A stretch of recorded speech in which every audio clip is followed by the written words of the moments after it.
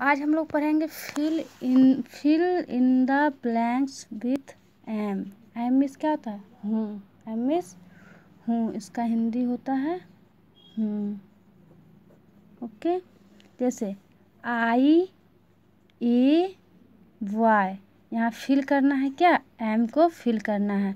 तो क्या हो जाएगा? आई एम ए वाई मतलब क्या? मैं एक लड़का हूँ।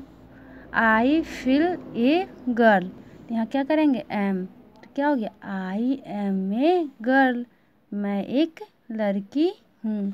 नेक्स्ट है आई एम हैप्पी मैं खुश हूँ। I am a honest man मैं एक ईमानदार आदमी हूँ। आई एम ए फार्मर मैं एक किसान हूँ। आई, यहाँ क्या फिर करेंगे? एम, ए, गुड वाई, मैं एक अच्छा लड़का हूँ।